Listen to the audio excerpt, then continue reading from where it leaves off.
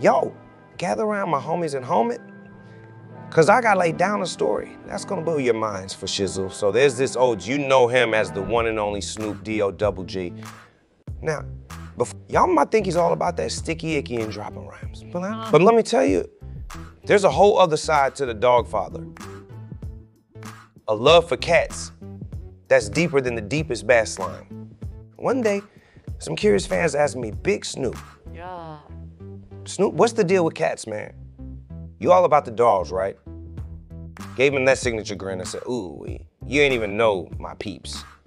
I started spinning a tale that had everyone laughing. See, cats, they got that mellow vibe, just like the smoothest beat. You feel me? They strut around like they own the joint, ain't no drama, no barking, just chilling like they sipping on a gin and juice. The crowd was cracking up, but Snoop wasn't done dropping knowledge bombs. Hmm. And let's talk about the independence, man. Cats ain't looking for constant attention. They do their own thing. Just like me with my tunes, I'm doing my thing in the studio, cooking up tracks, letting creativity flow. You dig? Now, Cass and me, we got this unspoken understanding. I see them lounging, they see me lounging. It's all good. Ain't no need for words when you're on the same frequency, right? So next time you see a cat doing this thing, just remember, we're all on this big blue ball together, spreading those chill vibes, whether it's in the studio or on the windowsill for shizzle.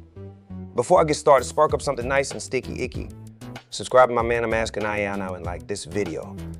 If you enjoy it, pass it around like that good herbal sticky icky icky ya ya dig. Let's get started.